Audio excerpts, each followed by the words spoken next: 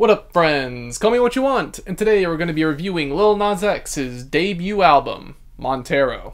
After a few singles and an EP, this is the debut project by pop and rap sensation Lil Nas X. He really does need an introduction at this point. You know him? You heard of him? After his EP 7, which was pretty good in its own right, I think a lot of people were wondering if he would have the ability to break out of his one-hit wonder status and lock in his career.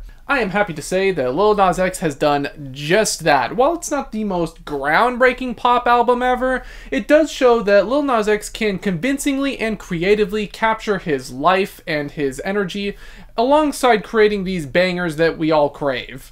The opening track is the title track, Montero, and honestly, again, what intro does this song even need? Incredibly fun and whimsical flows alongside this quirky, almost Spanish-influenced guitar precede one of the catchiest choruses ever. Lil Nas's charisma on this one is just unmatched. It's a song all about getting closer to his partner, getting to know him on a first name basis, living the life, and just embracing his sexuality. It's a very simple yet effective tune, and I honestly can't think of a better song that would open up the project. Next up, we got Dead Right Now, and despite the name, what a banger, bro. Those horns and background vocals are a perfect lead-in, and Lil Nas's flows aren't too shabby either. It's pretty dramatic, yet also very confident as he gives this sort of recap on his life and how he rose to fame and success, alongside detailing all the people who tried to wrong him. The verses are real highlights, especially the ending hallelujahs with the chanted vocals and swelling instrumental. In a way, it's sort of like a melancholic banger, which is pretty interesting on its own. Industry Baby comes next, and again, does this really need an introduction? Like, you know from those horns that open up the track that this is gonna be a fun one. This is an arena anthem if I've ever heard one, and it's also pretty fitting coming off of the previous song as well, as at this point Lil Nas is just bragging about all of his success and accomplishments. Another catchy chorus makes sure that you're going to remember these accomplishments too. Jack Harlow is a perfect fit for the track, adding more fun flows to the mix alongside bars like, I didn't peak in high school, I'm still out here getting cuter. And we just gotta say it, that outro also just slaps. That's what I want is one of the more poppy tracks on the project, and I'm a bit less partial to it, I'll, even though it's not that bad. The instrumental is a bit cliche with the dancey acoustic guitar backdrop, however I do think Lil Nas's flows are fun enough to compensate. The chorus is definitely catchy, however, the vocals feel a bit strained at times, unfortunately. It definitely fits the vibe of the project overall, however, I think it could have used a little bit more time in the oven to actually bring it to its full potential. Scoop is probably my least favorite song on the album. Instrumentally, it's way more simplistic compared to everything up until this point, with its very skeletal hi-hats and trap beats along with a very monotonous synth. The chorus is super basic and bare bones, and his flows on this one aren't nearly as fun as before. Doja's verse is okay, albeit she wasn't really dealt a great hand to begin with on this track, nothing to really build her up, so she couldn't really save it, unfortunately. We got Elton John on the piano in One of Me Boys, like, it is over. It's a light and elegant little ballad that addresses how a lot of Lil Nas's detractors thought he would just be a one-hit wonder and never end up making anything of himself. It kind of encompasses how being treated as like a passing fad really wears you down and how artists are kind of expected to be stuffed in this little box where they can't expand and explore their creative endeavors. Simple yet effective samples and instrumental swells help tell this tale pretty effectively, and Elton John's piano also just adds to the emotion. Lost in the Citadel, like That's What I Want, is one of those weird poppier, almost pop-punk moments on the record.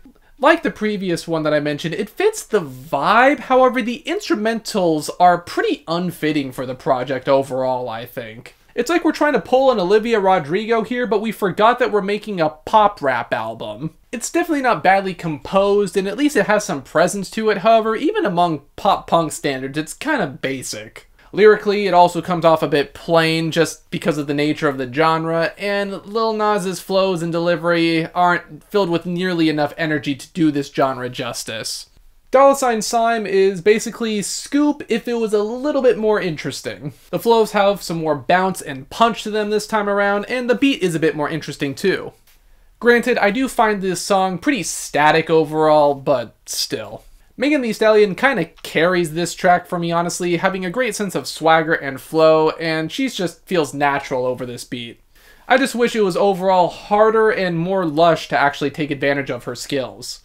Tales of Dominica, on the other hand, brings us back to the more elaborate sounds on the project. The almost shanty-esque guitar is a surprisingly somber look on this sort of tale about dysfunctional family relationships. That chorus and its emphasis on the strings is also a really elegant aesthetic. Lil Nas's flows are also delivered with a great deal of emotion, and the outro is a perfect culmination of all the different sounds that we've been playing with on this track. With Sun Goes Down, a wistful and dreamy guitar and beat are a perfect backdrop to chill flows about self-doubt and self-confidence. That chorus, especially of I want to run away, don't want to lie, I don't want a life, send me a gun and I'll see the sun, is especially poignant and also shows how important it is to support the LGBT youth and how that support is crucial in helping them feel loved and accepted. The next track, Void, has an interesting build-up with the guitar sort of forming the backbone as the main beat gets more and more built up upon, especially after these strings kick in. It sort of depicts a rising confidence, and I like how Lil Nas kind of switches up his flows every so often to support this as well. However, I will say that it's a bit too much build up for not much payoff at the end, which really hinders this song from reaching its full potential. The lyrics are also kind of retreaded ground from Dead Right Now, too. There's also a cool little psychedelic trap track here with Don't Want It. I like the quirky guitar on this one, however, I do feel like the main beat could have been fleshed out a bit further. There are definitely some cool flows here though, even if some elements can feel a bit familiar with what we've heard previously. However, it is definitely catchy, and I do like how they switch up the instrumental a little bit in a few different places. It's one of those songs that doesn't attract too much attention to itself, however, it's more of a slow burn groove that I appreciate. Life After Salem is a pretty ominous sounding tune with very off-kilter guitar, warm beats, and a belted chorus. I love how desperate this one sounds, like he's pleading for his relationship to work no matter what it costs. The rock-driven instrumental is pretty unique for the album, and it's done better here than the pop-punky sounds that were done on Lost in the Citadel. Passionate vocals, dynamic instrumentals, and switch-ups like this could have been an album ender if it wasn't for the last track on the project, especially with that ending synth note. However, it is not the end. That would be Am I Dreaming, and what a fucking closer also being sort of guitar driven, it feels like a natural continuation of the previous track, and Lil Nas is just belting out with all the emotion that he's got. He is just crooning over this track, and the addition of Miley Cyrus couldn't have been better. Her voice is fantastic with this instrumental, and I love how her smoky vocal tone contrasts Lil Nas's more delicate vocal tone. They meld together into something truly unique, and they also tackle the relationship breakup subject matter from different angles, too. Uh, I would not mind seeing them collab again, to be honest, because this was pretty good. Now, for a first full-length project, Lil Nas X did a pretty great job here. He's taken what he's learned from previous tracks that he's released and applied it with his newfound confidence in who he is. The instrumentals were also pretty varied to the album's benefit and also sometimes its detriment. There's some weird space in the middle of the record that feels very underdeveloped compared to what surrounds it, and some features I feel were a bit underutilized.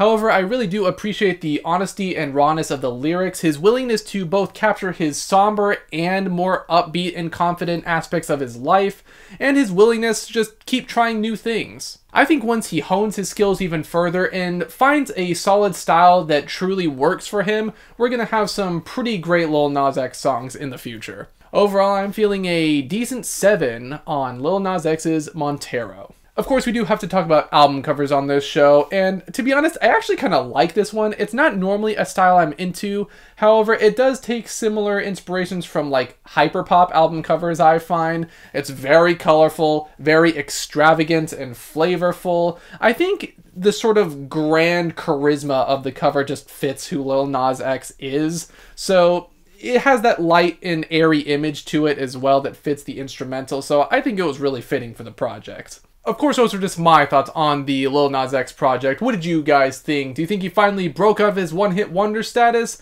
Or are you not quite convinced yet? Let me know. Be sure to like, comment, and subscribe. Ring the bell if you want me to recreate the album cover. And until the next one, farewell.